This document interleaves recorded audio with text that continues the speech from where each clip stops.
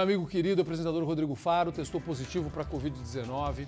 Vamos lá, vamos saber o estado de saúde dele. Conversei com o Rodrigo, tá? Ah, depois Mas você conta conta, você pra primeiro, gente. Ó, o Rodrigo Faro pegou Covid-19, a mulher dele é a Vera Viel e as três filhas do casal também estão com a doença, também pegaram.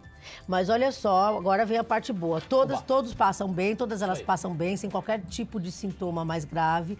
E toda a família agora está em casa para cumprir a quarentena aí necessária. Ele fez uma série de exames, o Rodrigo Faro, aqui em São Paulo, no hospital aqui em São Paulo, mas nenhum problema de saúde aí foi detectado. Que bom, Aí olha. ele postou essa foto.